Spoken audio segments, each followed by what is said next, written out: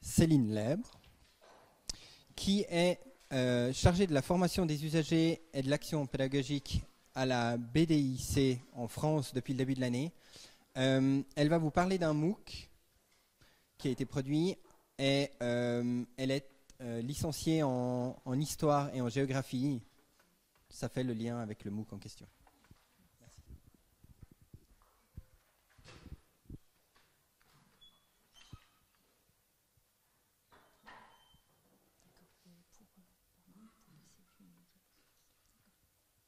Euh, bonsoir à tous. Donc, je vais vous présenter un point de vue français sur les MOOC. Euh, j'imagine d'abord que la BDIC, ça ne dit pas grand-chose à grand monde dans cette salle. Est-ce que quelqu'un parmi vous connaît la BDIC Non, c'est pas étonnant. Hein. C'est une bibliothèque assez atypique dans le paysage des bibliothèques françaises. Pourquoi la BDIC était-elle invitée ce soir? Parce qu'elle a été associée à la réalisation d'un des premiers MOOC en France. Donc, je vais vous présenter, mais pas seulement. Euh, ce qui est intéressant,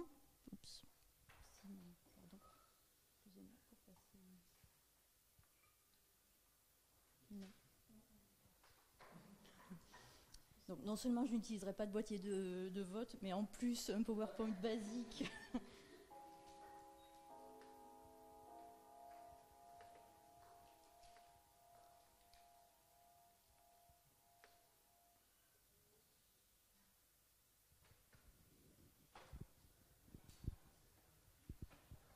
Alors peut-être pendant que euh, mon collègue règle, règle ces petites questions-là, euh, je ne passerai pas trop de temps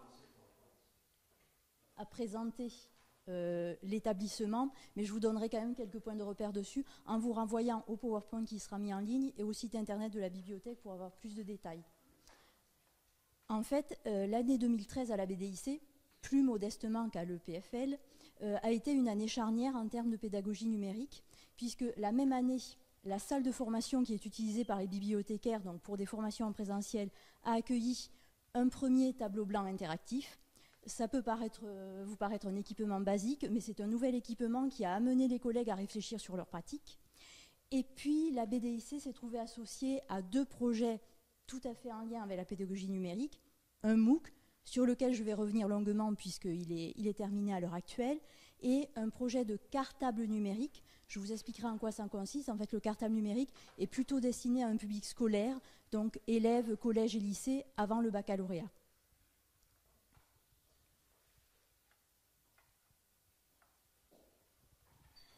Alors, la BDIC, je vous montrerai à quoi ressemblent ces, bâtiments dans un instant. C'est une bibliothèque qui a un statut très particulier en France. Quelques bibliothèques ont un statut de bibliothèque interuniversitaire. cela signifie donc qu'elles dépendent du ministère de l'Enseignement supérieur, qu'elles sont rattachées à plusieurs universités. Mais l'université de rattachement principale de la BDIC, dont on va reparler pour le MOOC, c'est l'université de Paris 10, devenue récemment l'université Paris-Ouest Nanterre-La Défense. Donc on est à l'ouest de Paris, en banlieue proche, à peu près à 20 minutes du centre de Paris. Super, merci. Et donc, excusez-moi, D'accord.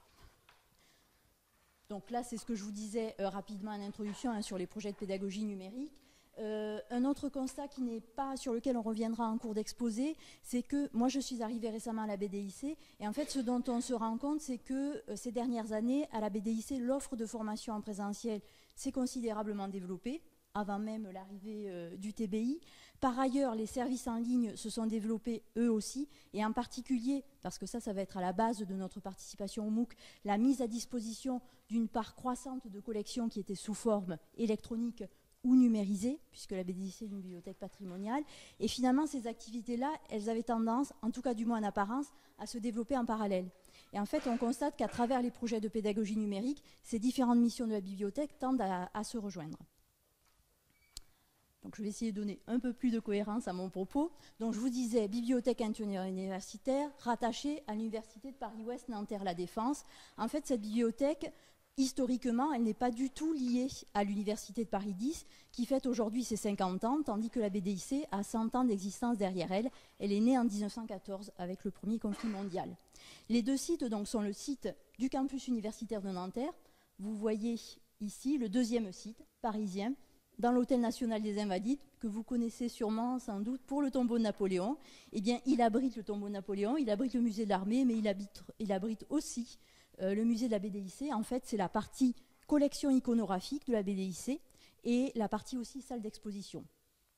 Tandis que sur le site du campus universitaire, vous avez les services principaux de la bibliothèque, la salle de lecture et toutes les collections imprimées de la bibliothèque qui sont dans la tour que vous voyez au centre, en fait, qui est une tour de magasin que partage la BDIC avec la bibliothèque universitaire. Puisque qui dit université dit campus universitaire, dit une bibliothèque universitaire qui dessert, qui acquiert la documentation destinée aux enseignements produits à l'université. Autre détail, mais qui n'en est pas un, l'Université de Paris-Ouest Nanterre-La Défense, elle est spécialisée en sciences humaines et sociales. Hein, pas de sciences et techniques, pas de sciences de l'ingénieur. Donc ça, je passe.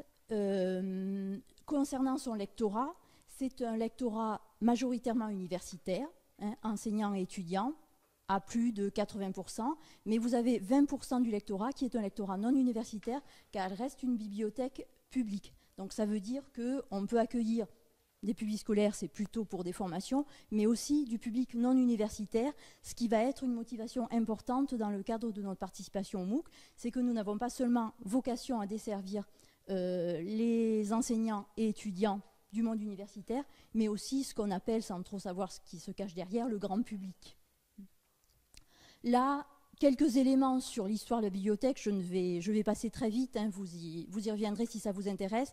Je vous disais une bibliothèque centenaire. En effet, à l'origine de la BDIC, vous avez une bibliothèque privée qui a été créée par un couple d'industriels parisiens, les Leblanc, en 1914, au moment où éclate le conflit. En fait, ils ressentent le besoin et la nécessité de rassembler toute la documentation qui est produite à ce moment-là autour du conflit qui vient de naître.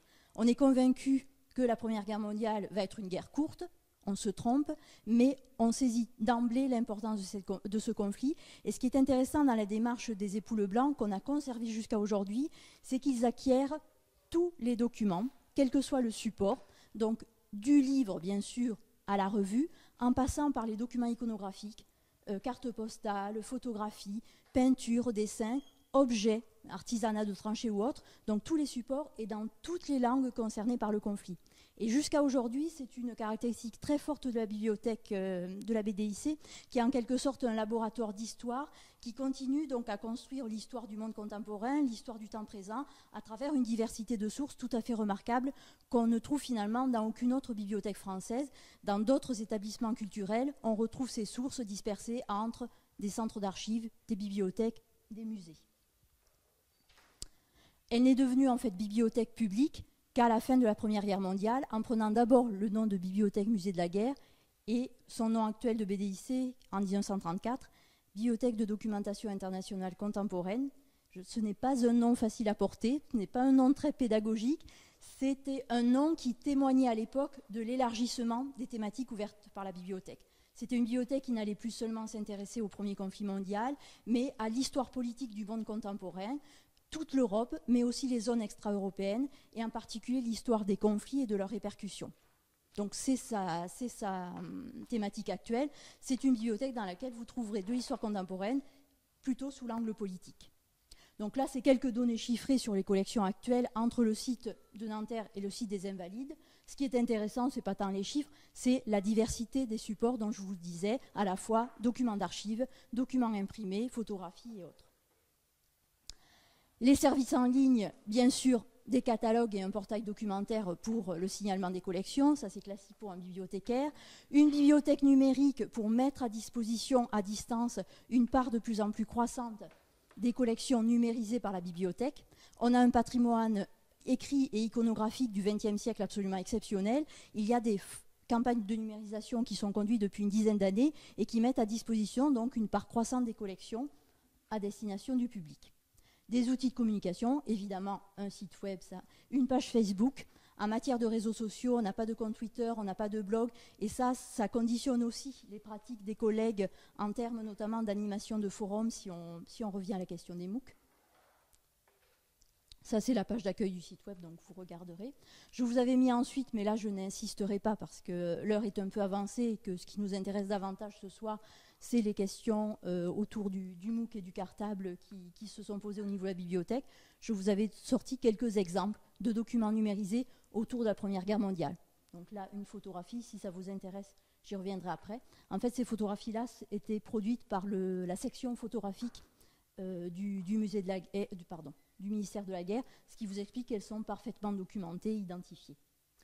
Des exemples d'affiches. Là, des exemples de publications éphémères. Quand je vous disais euh, les Leblanc et jusqu'à aujourd'hui, on conserve tout ce qui est littérature grise, tout ce qui est tracts et brochures. Là, par exemple, vous avez deux billets. On ne connaît pas, on ne connaît que l'un des producteurs des billets. Ce sont probablement des soldats qui ont été évacués, qui sont passés par la Suisse.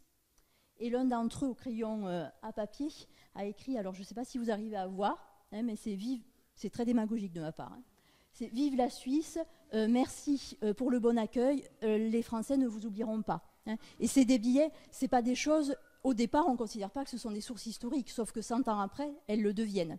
Ça, c'était un petit clin d'œil, mais c'est pour vous montrer la diversité de ce que l'on peut conserver.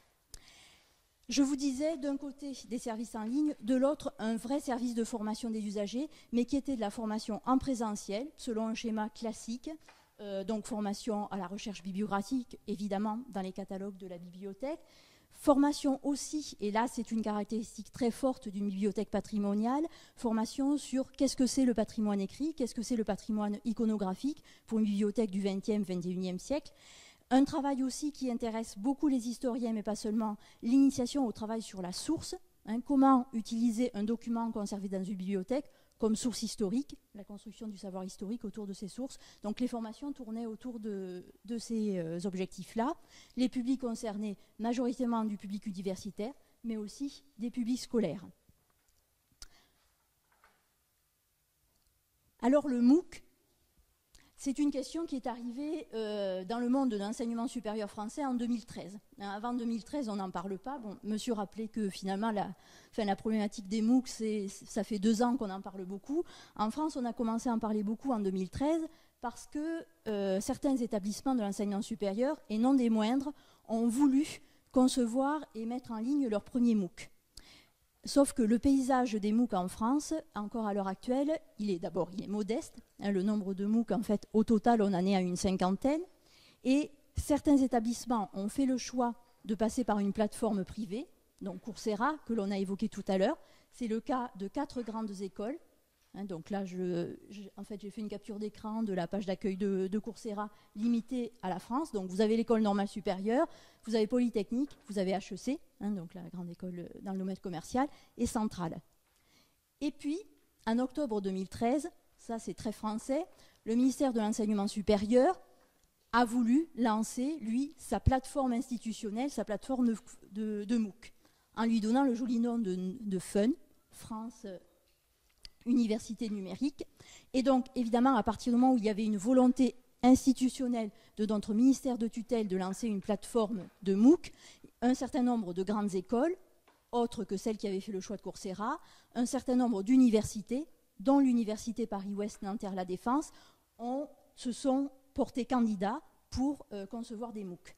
C'est ainsi que euh, la BDIC s'est retrouvée associée à un MOOC. Et moi, quand je suis arrivée au début de l'année, début 2014, tout le monde ne parlait que de ce MOOC.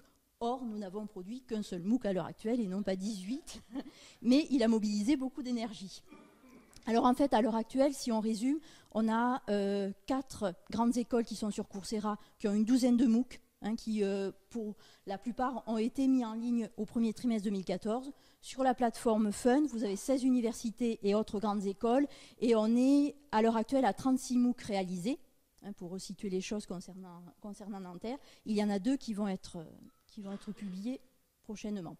Ça, donc c'est la page d'accueil de la, plateforme Fun. On y reviendra tout à l'heure si je peux vous montrer un extrait du MOOC auquel on était associé.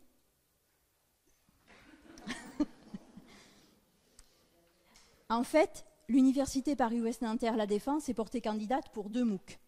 Dans le domaine des sciences humaines et sociales, puisque c'est son secteur de spécialité. Un MOOC philosophie, dans lequel la BDIC n'a pas été impliquée, et un MOOC histoire. Et le sujet retenu pour ce MOOC histoire, ça a été la Première Guerre mondiale. Évidemment, euh, vous savez que l'on a commencé à commémorer le centenaire de la Première Guerre mondiale. C'était pas neutre. Le fait, tous les projets qui naissent autour de la commémoration du centenaire de la Première Guerre mondiale donnent à l'heure actuelle beaucoup de visibilité aux collections de la BDIC dans, dans ce domaine.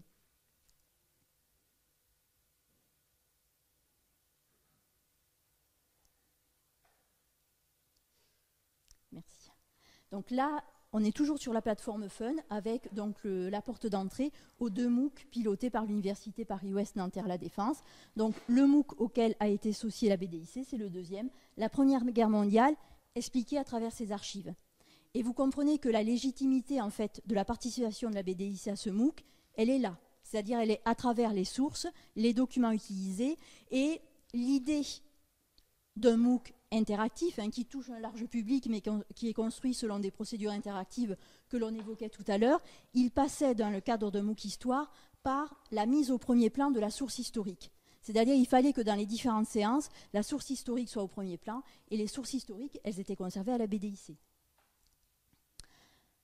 Donc, Paris-Ouest Nanterre La Défense, une des premières universités à se porter candidate pour des MOOC, en fait, elle avait quand même euh, une bonne expérience euh, du, secteur de l'enseignement en ligne. En fait, il y a quelques années, elle avait mis en place une plateforme d'enseignement euh, à distance qui est gérée par un service de l'université. Donc, sur le plan technique, on s'est appuyé sur ce service-là, qui porte le joli nom de Comet centre optimisé, pardon, de médiatisation et de technologie éducative, qui comporte à la fois des informaticiens, mais aussi un pôle multimédia, donc toutes les questions qu'on évoquait de montage vidéo ou autre, et un pôle ingénierie pédagogique, donc qui peut donner euh, des idées en matière de construction euh, des séances. Le MOOC Histoire et le MOOC Philosophie ont un certain nombre de points communs. Leur objectif était le même, c'est-à-dire qu'il s'agissait clairement de formation continue tout au long de la vie, sans exigence de euh, diplôme et de niveau préalable et sans certification à la fin. En fait, euh, en France, la question de la certification, du MOOC diplômant ou pas, euh, suscite beaucoup de débats, y compris dans le monde universitaire, mais aussi dans la presse généraliste. Et la majorité en fait, des établissements français, pour le moment, quand ils ont mis en œuvre une certification, c'est une certification simplement qui valide le fait que l'étudiant, l'inscrit, a bien suivi l'ensemble du MOOC et qu'il a acquis, alors selon des procédures diverses, les apprentissages que l'on associait au MOOC. Dans le cas de l'Université Paris-Ouest, on a exclu ce principe d'une certification, en tout cas pour le moment. Donc le public visé, clairement, le grand public dans une perspective de formation continue. Ce que ces deux MOOC avaient en commun aussi, c'est le calendrier. C'est-à-dire qu'on a su à la fin octobre 2013 que l'Université Paris-Ouest devait produire deux MOOC. Il fallait qu'ils soient mis en ligne dès le début janvier pour la première séance. Et ils ont été construits sur le principe d'une séance introductive, suivie de 12 séances, sur un format équivalent à ce qui était évoqué tout à l'heure, c'est-à-dire des séquences de 10-15 minutes, qui sont subdivisées en plusieurs chapitres. Des séances hebdomadaires, hein, mises en ligne tous les lundis pour créer un effet de régularité. Et à ces séances de cours étaient associés systématiquement des exercices, au minimum des questionnaires à choix multiples, même si nous n'avions pas 400 000 inscrits euh, à ces MOOC loin de là, en fait, c'était le premier moyen d'auto-évaluation qui avait été imaginé. Mais pour un certain nombre de séances, il y a d'autres types d'exercices qui ont pu être euh, envisagés, notamment des analyses de sources historiques. Hein, des extraits de texte ou des lots de photographies sur lesquels il y avait un questionnement ou alors un commentaire libre par l'étudiant qui réinvestissait les notions vues dans la séance.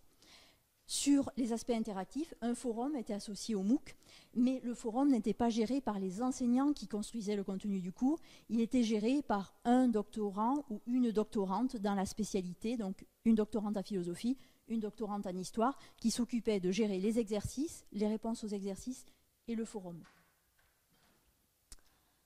Alors, en ce qui concerne donc le MOOC Histoire, je le disais, tout ce qui est la partie enregistrement, montage, euh, technique, a été assuré euh, par Comet.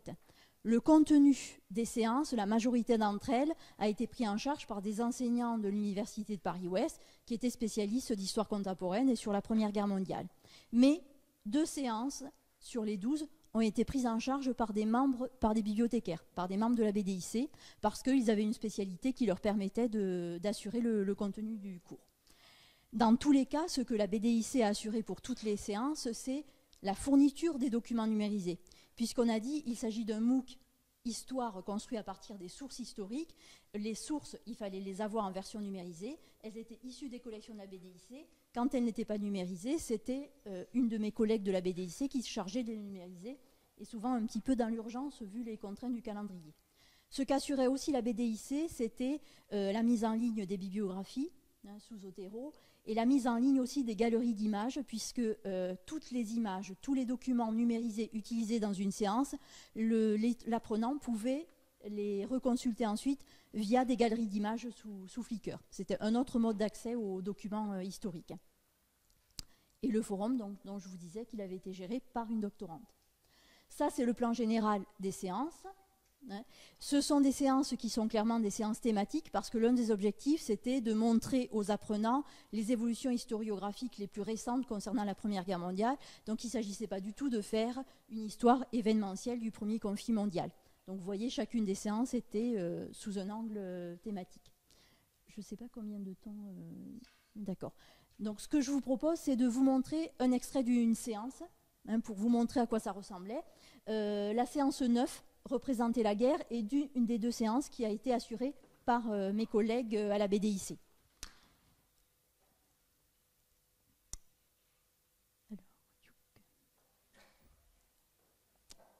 du coup, on avait,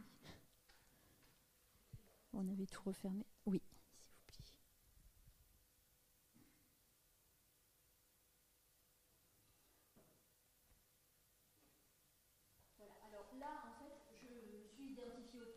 je suis sur la plateforme France Université Numérique, donc la plateforme institutionnelle des MOOC. Je me suis connectée avec mon login administrateur. Vous, pourrez aller sur, euh, pardon, vous pourrez aller sur la plateforme France Université Numérique, mais par exemple, comme ces deux MOOC sont terminés, vous ne pourrez plus visionner que la séance introductive. Vous ne pouvez plus vous inscrire au MOOC. Là, je me suis logué euh, en administrateur. Chacune des séances, donc de 10-15 minutes, en fait, était subdivisée en vidéos plus courtes de 5 minutes environ. Et donc, par exemple, la séance 9, témoigner euh, de la guerre, était subdivisée en trois chapitres. Le troisième chapitre, comment les combattants saisissent-ils ce qui est le moins représentable sur l'instant, le combat?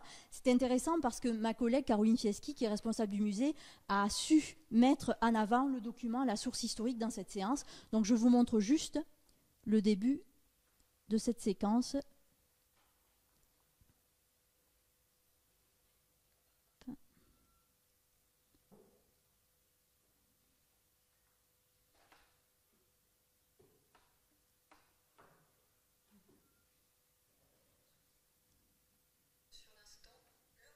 sais pas si vous entendez.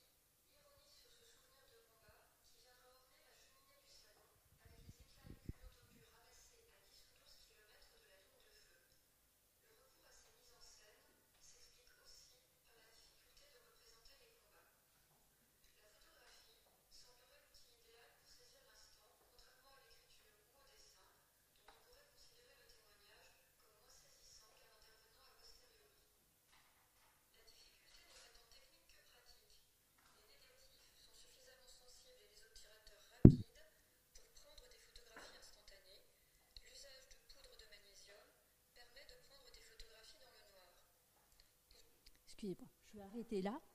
Euh, je vous ai montré cet extrait-là pour une...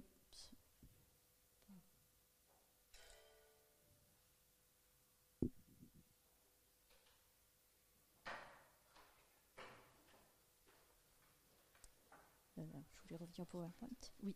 Euh, je vous ai montré cet extrait-là parce que c'est une séquence où vous voyez que l'enseignant s'efface complètement on ne le voit pas, il n'est pas assis derrière son bureau en train de produire son enseignement, on l'entend en voix off, et le document est au premier plan. Et vous imaginez que pour un monteur de comète, euh, la construction d'une séance comme celle-là, elle est, elle est un petit peu compliquée. Vous avez des zooms sur certaines parties du document.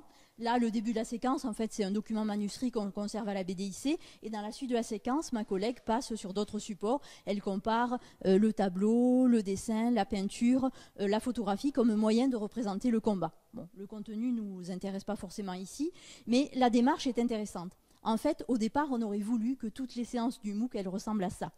Mais la majorité des séances, on, y reviendra après par euh, l'évaluation qui a été faite par, euh, les apprenants, la plupart du temps, c'était euh, l'enseignant assis derrière son bureau, prodiguant un discours pour lequel le document était souvent simplement une illustration.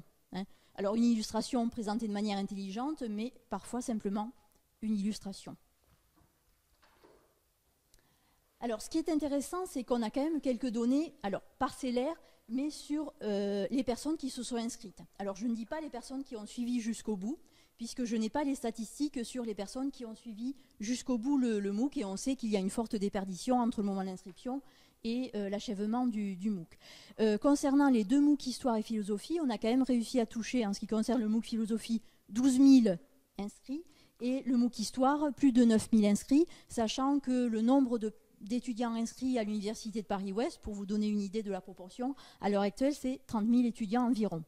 Donc, ce sont des MOOC qui ont été un peu lancés dans l'urgence, mais qui ont trouvé un public. Alors, quand, au moment où ils s'inscrivaient, ils avaient quelques éléments d'information à remplir, qui étaient assez succincts, mais qui nous donnent quelques idées sur leur, euh, profil. Euh, légèrement plus d'hommes que de femmes, mais c'est à peu près équilibré. La répartition par âge est peut-être plus équilibrée aussi que celle à laquelle on peut s'attendre. Bien sûr, la tranche d'âge qui prédomine, c'est la tranche 25-40 ans, mais on voit que quinquagénaires et sexagénaires sont plutôt bien représentés aussi dans les apprenants qui se sont inscrits au, MOOC Histoire. En ce qui concerne le niveau de diplôme, c'est une donnée intéressante, puisqu'il s'agissait clairement d'un MOOC euh, sans exigence de diplôme, un MOOC de formation continue tout au long de la vie, et en fait on se rend compte, comme dans bien des cas, que la part euh, d'apprenants ayant un niveau licence et master est majoritaire. C'est-à-dire que la majorité des, gens qui se sont inscrits à ce MOOC étaient des gens qui avaient un cursus universitaire. On a cependant 14%, 14,5% qui ont simplement un niveau baccalauréat et 3% qui ont un niveau brevet, donc c'est ce qui sanctionne la fin du collège. Hein. Ce qui est intéressant aussi, c'est comme le MOOC euh, s'est achevé au mois d'avril, on a ensuite mis en ligne un questionnaire de satisfaction qui était un ensemble de 20 questions, dont la plupart étaient des questions fermées, c'est-à-dire où l'apprenant répondait oui, non, ce n'était pas un questionnaire évidemment obligatoire, mais il y avait un certain nombre de questions ouvertes aussi, et ça nous permet de dresser un premier bilan modeste de la réception de ce MOOC Histoire par les apprenants. On a totalisé 439 réponses, c'est peu. En même temps, on sait très bien que ceux qui ont répondu, ce sont des apprenants qui étaient particulièrement motivés, qui sont allés jusqu'au bout du MOOC et qui étaient suffisamment motivés par le projet pour remplir un questionnaire en ligne d'une vingtaine de questions. Ils ont été particulièrement studieux, ces apprenants-là, puisqu'on voit qu'à plus de 85%, ils ont suivi toutes les séances, ils ont fait au moins une partie des exercices. 50% de ceux qui répondent au questionnaire disent qu'ils ont fait tous les, exercices, sachant qu'à chaque séance était associé en général trois exercices.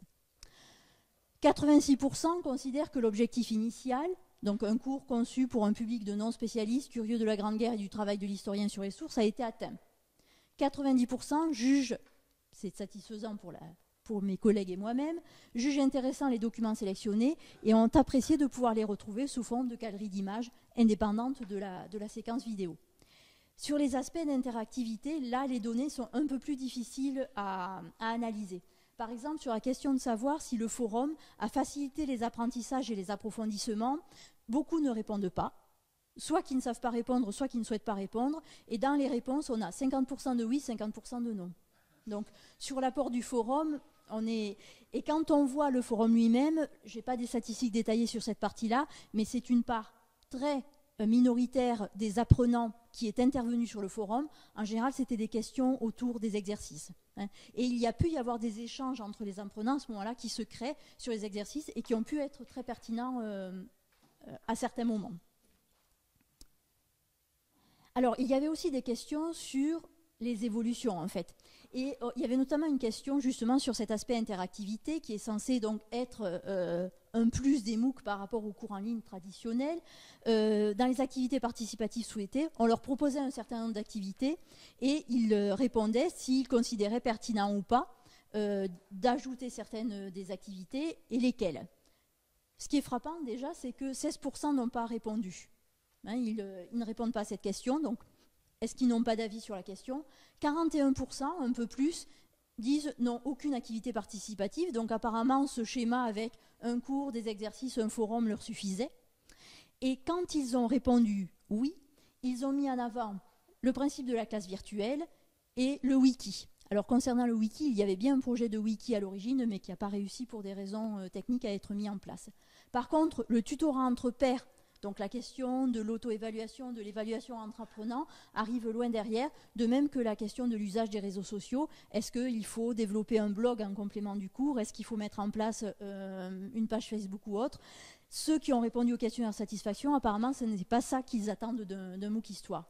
Sur la question de la certification, même chose, plus de la moitié considèrent que même s'il y avait eu un certificat à la fin, leur implication n'aurait pas été plus importante dans, euh, dans le cadre de cet enseignement. Ce qui est intéressant euh, aussi, c'est qu'il y avait une question sur qu'est-ce qu'on devrait faire pour améliorer le MOOC, et là, aucune proposition ne leur était faite. C'était une question ouverte, donc ils pouvaient mettre en avant ce qu'ils souhaitaient. Et évidemment, ce que l'on attendait de cette question aussi, c'est qu'ils mettent en avant les défauts qu'ils avaient pu identifier dans le MOOC qui, euh, avait été euh, mis en ligne. La première chose, c'est sur la forme des exposés. L'extrait que je vous ai montré, je vous ai dit, n'est pas forcément représentatif de toutes les séances. On avait quatre, cinq enseignants de l'université qui sont intervenus, qui ont fait chacun des séances. Euh, c'est des enseignants qui n'avaient pas forcément le même rapport à la caméra, le même rapport au cours en ligne, le même rapport non plus aux documents utilisés, le même temps aussi à consacrer à la préparation de la séance. Et donc on voit dans le retour qu'il y a certains exposés qui ont été jugés un peu trop statiques, un peu trop lecture de texte devant la caméra et pas assez vivants. Euh, l'un des, répondants, d'ailleurs, répond ben, ça serait intéressant de varier les modes de transmission ou d'analyse des documents euh, sous forme, par exemple, d'échange entre deux intervenants, alors que toutes les séances étaient construites sur un intervenant et les documents. Diversifier les types d'exercices, sur le forum, on voit que quand on met en place des outils d'interactivité, le niveau d'exigence des, apprenants, il est important. -dire, ça veut dire qu'il faut suivre derrière.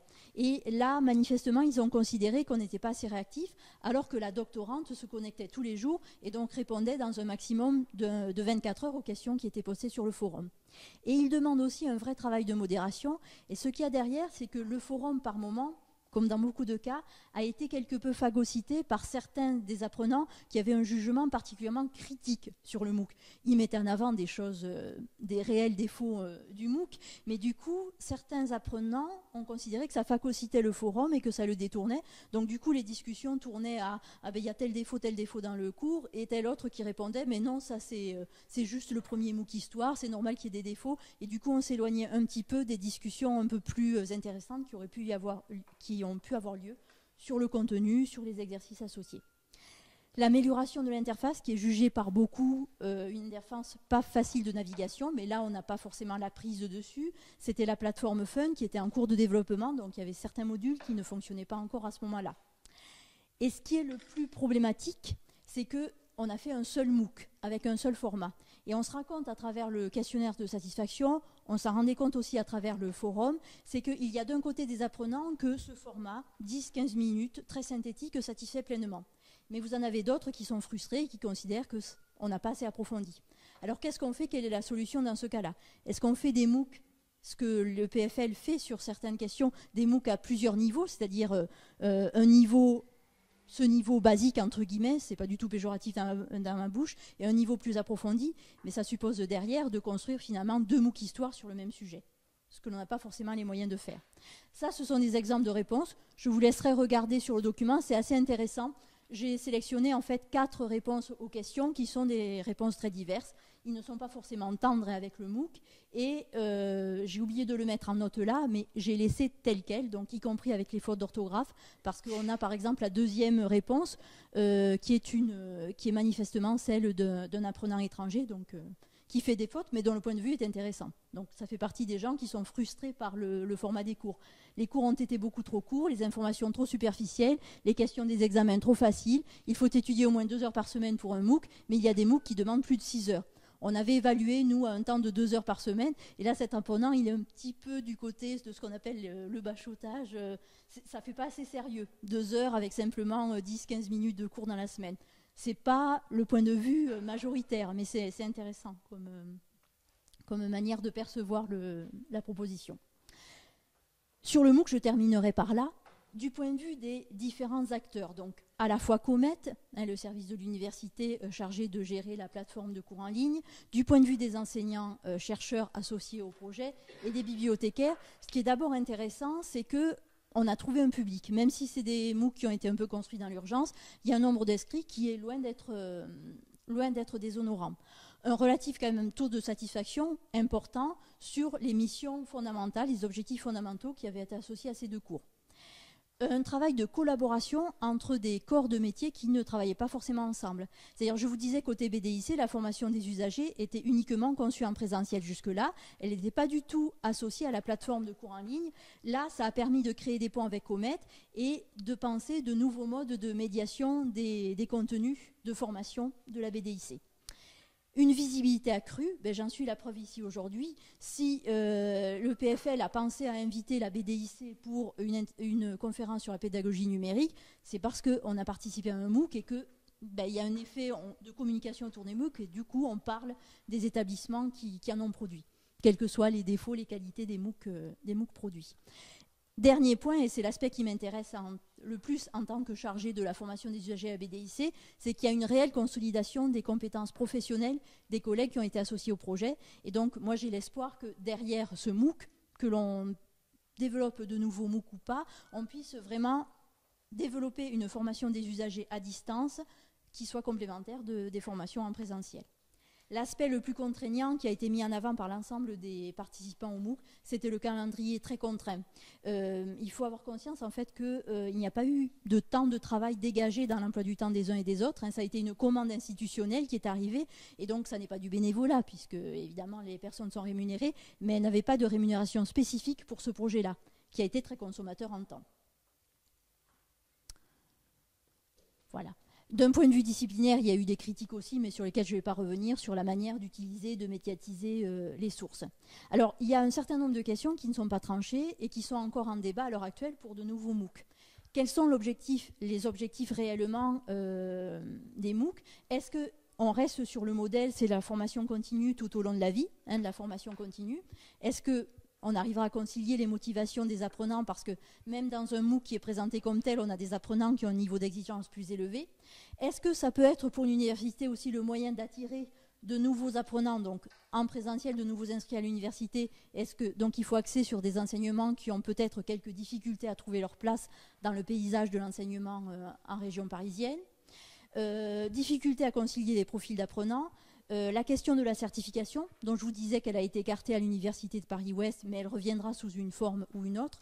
La question qu'on évoquait tout à l'heure aussi de la propriété intellectuelle des séances, du contenu développé dans les séances. Les enseignants-chercheurs ils sont très sensibles à cette question-là, donc ils voudraient trouver euh, une réponse. Autant de questions qui ne sont pas du tout tranchées. Euh, je vous disais tout à l'heure qu'en parallèle du MOOC, la BDIC a été impliquée dans un projet de cartable numérique qui est euh, en fait un projet destiné, lui, par contre, au public scolaire. Alors, je m'apesantirai moins, tout simplement parce que le projet n'est pas achevé. À l'heure actuelle, il y a une première version de ce cartable qui euh, est en ligne, mais dont la version définitive sera mise en ligne au mois de septembre.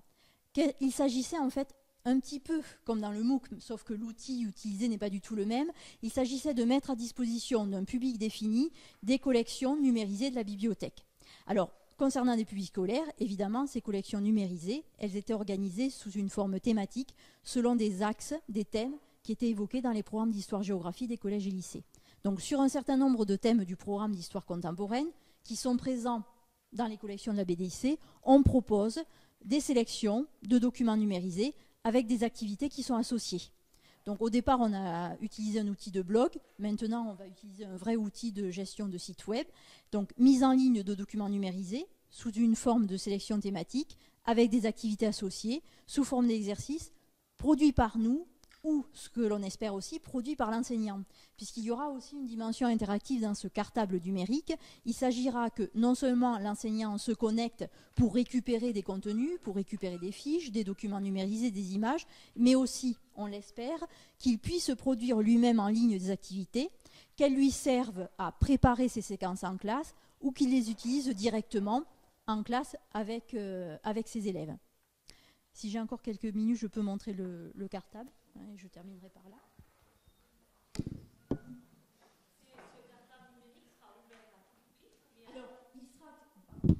il sera accessible en ligne pour tout public. Mais c'est vrai que le public visé est en priorité le public des professeurs d'histoire-géographie, des professeurs documentalistes, des professeurs de lettres, parce que les thèmes évoqués sont des thèmes des programmes des collèges-lycées. Mais le contenu sera absolument visible pour tout le monde et toute personne pourra récupérer des images du contenu. Alors, je ne parlais pas de la question des, droits sur les images, hein, à laquelle on a fait allusion tout à l'heure, mais évidemment, ça suppose de notre part qu'on ne mette en ligne que des images qui sont libres de droits pas des images sous droit. Alors sur des thèmes euh, comme la Première Guerre mondiale, pas trop de problèmes. Sur des thèmes postérieurs, c'est déjà un peu plus compliqué.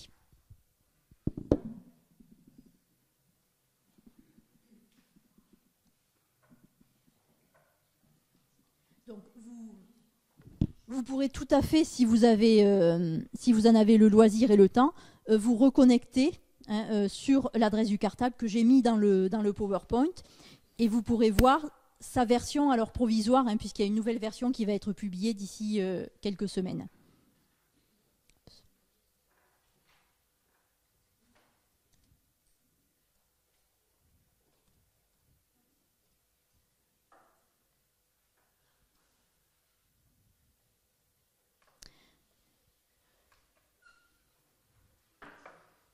Alors ça, donc c'est l'interface du, cartable telle qu'elle existe. Vous voyez, en fait, vous avez sur un certain nombre de thèmes des dossiers thématiques qui sont proposés. Donc la Première Guerre mondiale, qui est un peu euh, une obsession de la BDIC à l'heure actuelle étant donné ses spécialités, et une structuration autour d'un thème des programmes, euh, une structuration en thème et en dossier. Et quand on clique sur un des sous-dossiers, on a du contenu et surtout des documents associés. Donc Évidemment, étant donné la diversité des collections de la BDIC, on peut à la fois utiliser de la presse, des photographies, des cartes postales, des affiches. Je ne reviens pas là-dessus. On peut aussi proposer des activités donc sur les documents, euh, des systèmes de questionnement, aussi des systèmes d'analyse et d'outils d'analyse de l'image. Là, je ne peux pas vous le montrer sur la version provisoire, mais sur la version qui sera mise en ligne au mois de septembre, il y aura des exemples euh, à partir d'un petit logiciel qui a été créé par des documentalistes d'analyse de l'image où on peut découper, prédécouper certaines zones de l'image et donc analyser point par point les éléments d'une photographie ou d'une affiche, ce qui est très demandé par les, enseignants euh, d'histoire-géographie notamment. Alors, la seule partie euh, qui soit restreinte, c'est-à-dire pour laquelle il faut s'identifier, c'est la partie production de nouvelles fiches. Par contre, l'accès à l'ensemble des contenus, là, il est libre pour toute personne qui se, connecte sur le, sur le site. Alors, pour conclure, euh, nos perspectives d'avenir. Euh, pour 2014-2015, donc l'une de nos priorités, c'est approfondir les contenus du cartable. Et là, on, vise clairement des publics scolaires qui viennent en formation à la BDIC, en formation présentielle, mais qui viennent peu parce que euh, c'est compliqué d'organiser des sorties scolaires en bibliothèque, parce que c'est un inter, donc c'est en banlieue, parce que quand on est en province, c'est pas possible de payer une sortie scolaire à Paris parce que c'est trop cher ou autre. Donc vraiment, développer en ligne un outil de médiation des collections numérisées de la bibliothèque. Du côté des MOOC, vraisemblablement en 2014-2015, il n'y aura pas de nouveaux MOOC produits, mais par contre, ce qu'envisage l'Université de Paris-Ouest, c'est de rediffuser début 2015 les deux MOOC, Histoire et Philosophie, un peu toilettés par rapport à leur version actuelle, parce qu'il y avait certaines séances qui, au niveau du montage, pour des raisons de contrainte de temps, avaient posé problème. De réfléchir dans le même temps à la publication de nouveaux MOOC et à la construction de nouveaux MOOC, puisqu'il y a une forte demande de la part des apprenants de nouveaux MOOC histoire sur d'autres sujets, la Deuxième Guerre mondiale, l'entre-deux-guerres, que sais-je. Les guerres de décolonisation aussi étaient venues euh, dans les, dans les souhaits des apprenants. En fait, dans le questionnaire de satisfaction, il y avait une question ouverte à la fin. Si vous souhaitiez euh, suivre un nouveau MOOC histoire, sur quel sujet vous voudriez qu'il soit? Et la Deuxième Guerre mondiale, tout à fait logiquement, hein, l'entre-deux-guerres et les guerres de décolonisation arrivaient dans les premiers choix des apprenants. Selon quel format, selon quelle modalité, tout ça est à définir avec l'université, puisque en fait, ce premier MOOC Histoire, aussi imparfait soit-il, était le premier, je pense, d'une longue série. Alors ça s'appellera MOOC ou ça s'appellera d'une autre manière, mais c'est évident qu'on a mis le pied dans, une, dans des problématiques qui vont prendre de l'importance dans les années à venir. Voilà, j'espère que je n'ai pas été trop éloigné de vos, de vos questions et des, sujets que vous vouliez évoquer ce soir, j'étais obligée de replacer un petit peu la BDIC en contexte parce que c'était par définition un établissement qui disait pas grand-chose à grand monde et c'est bien normal.